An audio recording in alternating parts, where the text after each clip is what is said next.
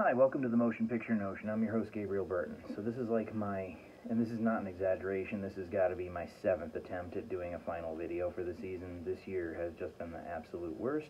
I really wanted to do the last video in my studio, as it were, but unfortunately it's now become my wife's office. It's really put like a chokehold on like what I can or can't do at any given time. So, I'm doing this last episode at my office currently I am watching the new Twilight Zone, the one that's produced by Jordan Peele, and I have to be honest with you, I don't, surprisingly, hate it as much as other people seem to. It is very political, yes, and uh, politics being shoehorned into everything has really pissed me off. It's not even so much politics, it's politics being dumped down your throat with, like, no allegory, no subtlety, no good storytelling, no good character development. Surprisingly enough, even though uh, the new Twilight Zone does deal with a lot of political issues that, uh, or not even a lot, but some political issues that I myself would even disagree with, the execution is a lot better. I mean, at certain points it gets a little heavy-handed. Granted, I'm not done with the season yet. I've seen the first seven episodes, so there's still three for it to go horribly, horribly, horribly awry. I figured I'd give it a shot because I saw Us, and I think that Jordan Peele is a really creative dude with a lot of really original ideas. Uh, I like how it takes a lot of old episodes and kind of flips them on their head.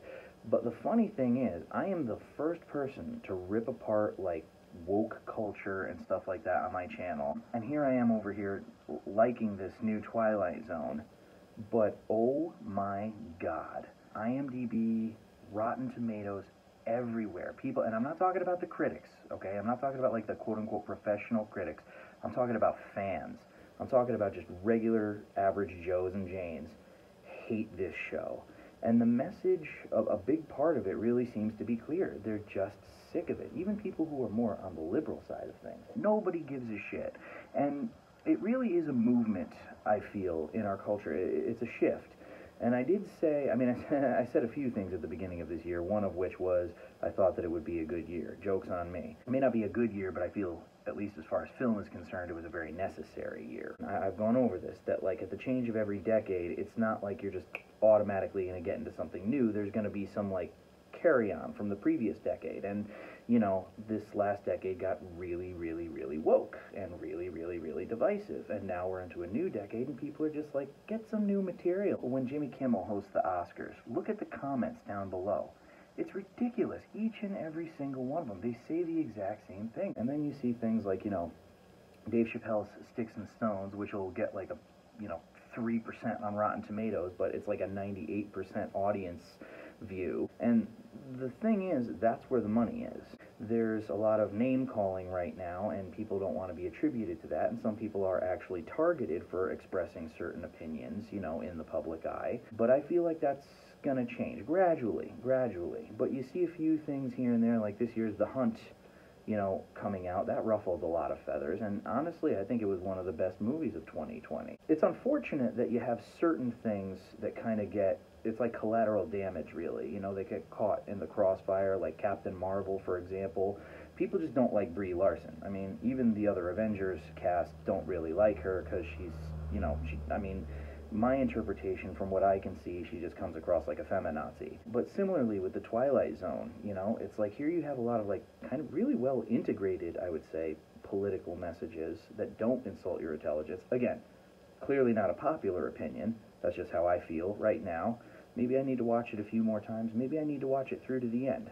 But again, you, you read these reviews and, and you see the trajectory. You see the way society is going. And I would hope that going forward, future directors will kind of look at the work that Jordan Peele does and be like, this is how you tell a story. Because at the end of the day, that's the biggest sin for me. It's not, you know, putting your politics into it. I mean, yeah, sometimes it's like, shut up, I didn't come here for this.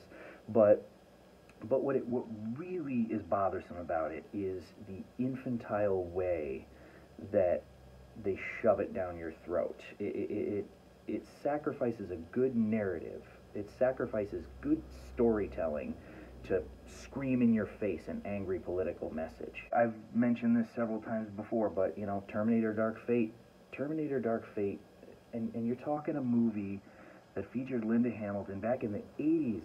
In the 80s, guys a movie that was geared towards dudes, and they watched this tough chick crush a Terminator in a hydraulic press. Terminator 2 even more so, because in that one she was battle ready. She was a woman of action. She, she knew what was going to happen. She's like, I got to protect my son. I got to stop this future from happening. I'm going in. She was a tough woman.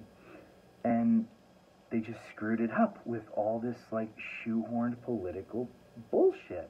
And such a such a classic, strong-willed female character. Change is coming, and I think you know it's going to be a rocky next couple years. But I think gradually you're going to see more people kind of do some, you know, uh, some uh, ruffling of feathers, and uh, I, I, really look forward to that. I really do. I, am really looking forward to this shift because I think that we're going to get back to you know really good storytelling sometime soon. I've been wrong before, but you know I'm trying to be an optimist here. I mean, look at the year we just had. At any rate, guys. Uh, 2020 was a crappy year. Uh, there might be an even further hiatus with my show for next year because I want to get a better camera. I also want to kind of rearrange my studio a little bit, make it look a little better, fix the lighting, etc. And, you know, maybe this next year my wife will go back to work at her office, so I will have a little bit more time to film there. I love her, but, you know, I, I want to I want an hour a day to at least film my videos. At any rate, guys, thanks for tuning in. Uh, hope you're uh, ho hope you had a Merry Christmas, Happy Holidays, Happy Kwanzaa Hanukkah, um, and I will see you next year. And that's all she wrote.